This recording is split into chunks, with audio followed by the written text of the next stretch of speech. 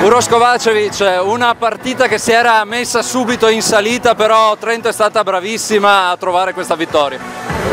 No, devo dire prima di tutto che è stata una di più difficili partite che abbiamo giocato sicuro questa stagione e sicuro una di più difficili partite uh, da che gioco in Italia, veramente è stata durissima.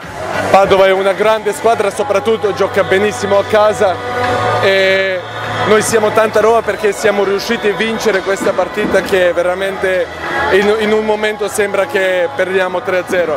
Per quello sono molto orgoglioso della mia squadra perché abbiamo messo tutto e alla fine quando erano, quando erano punto a punto siamo, abbiamo dimostrato che abbiamo più, più esperienza diciamo. Adesso una vittoria che fa anche molto bene al morale visti i prossimi impegni che ci sono, adesso si parte subito per la Polonia.